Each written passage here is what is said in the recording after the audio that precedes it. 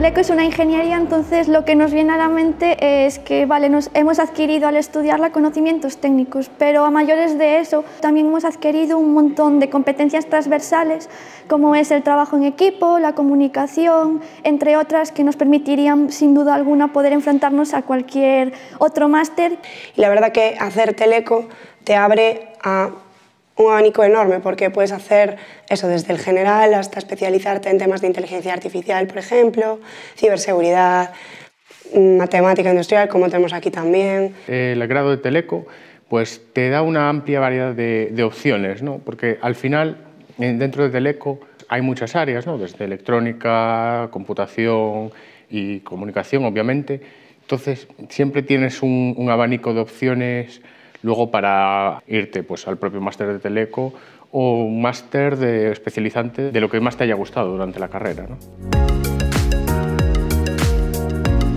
Sí, cumplió mis expectativas porque es un grado que está al orden del día. Estamos trabajando en cosas que, bueno, las telecomunicaciones de alguna manera están dirigiendo el futuro un poco. Entonces, pues seremos nosotros capaces de construir o de formar parte de este nuevo futuro. Creo que ahora mismo no hay tantos telecos como vacantes hay y es una, especie, o sea, una, sí, una carrera que es muy interesante, sobre todo si quieres formar parte de la evolución hacia el futuro. Sales preparado para afrontar cualquier, cualquier oferta laboral o cualquier puesto, ya que has tocado distintos palos o has trabajado con compañeros tan eh, distintos a ti que eso te forma en unas habilidades transversales que, que no te forman en otro grado. Sinceramente, si tuviera que definirlo, no sabría por dónde empezar.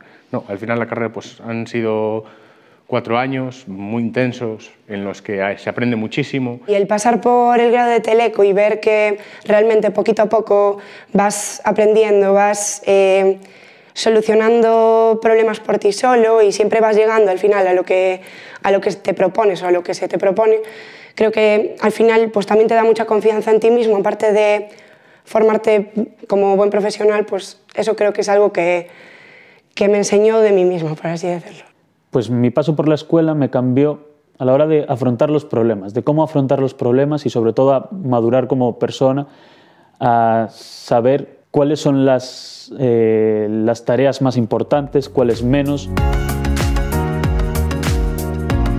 Pues por una parte yo ya antes de acabar el grado, pues es una cosa muy favorable que tiene Teleco, que es que yo ya había encontrado trabajo antes de eh, obtener el título de graduada, con lo cual pues cuando acabé ya tenía algo de experiencia. Con el grado eh, ya puedes empezar a dar tus primeros pasos aunque aún no hayas conseguido el título.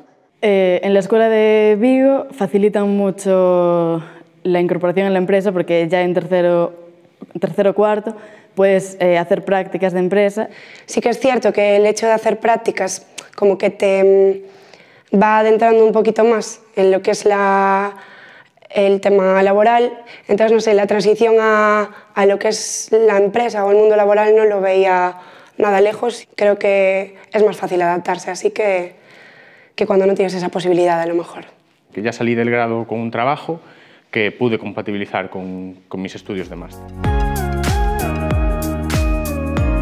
Pues eh, a nivel de perspectivas laborales, mm, obviamente tengo que decir que son muy buenas porque ya sales del grado prácticamente empleado. Lo que tengo claro es que me voy a dedicar a la investigación, es lo que más me gusta pues mis perspectivas laborales ahora mismo es, al, cuando termine el máster, continuar en la empresa en la que he hecho prácticas a corto plazo y, y seguir formándome en lo que me gusta, que en este caso pues, son las redes móviles y todo el tema de cloud, virtualización y edge computing. En el momento que estuve viendo pues, ofertas o prácticas en su momento, sí que me di cuenta de que el hecho de estudiar teleco te abre un montón de posibilidades muy diferentes. Realmente es un grado, pero hay infinidad de, temas, infinidad de ámbitos a los que te puedes dedicar. Entonces creo que lo bueno de, de estudiar teleco a la hora de trabajar es eso, que siempre vas a encontrar algo que te guste o que te encaje.